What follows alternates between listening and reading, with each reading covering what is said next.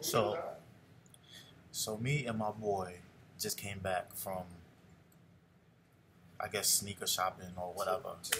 We go to the damn Converse or whatever, and we wound up getting banging ass Converse socks, right?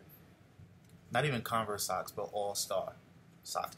But check out the bag that they put the damn socks in. This big ass,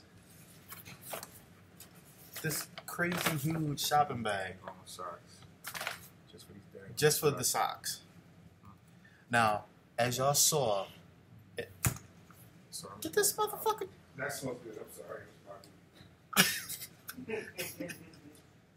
He's over here playing foot perv and shit, sniffing socks and shit, getting what the fuck.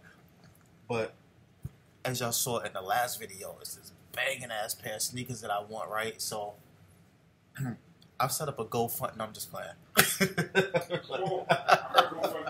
I. Set up a GoFundMe account for some sneakers. Nah, yo, look. Since they gave us this big ass bag, I just want to walk back up in the store and be like, trick or treat, motherfucker. just go in this big ass bag, yo. I don't need y'all to waste a whole other, and it's not even like a paper bag. It's like some, this is some high quality potato sack shit. Like, like, it's not, it ain't regular paper. This some sturdy shit.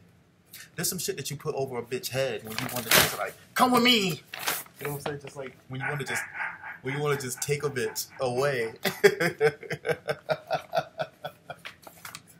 now don't y'all all go acting a damn fool and criticizing because I said bitch. It's a word I use loosely. I'm not being disrespectful or derogatory or nothing like that. I'm not calling nobody's mom or daughter or no shit a bit. So don't y'all start tripping. Y'all know how I do. But anyway, um,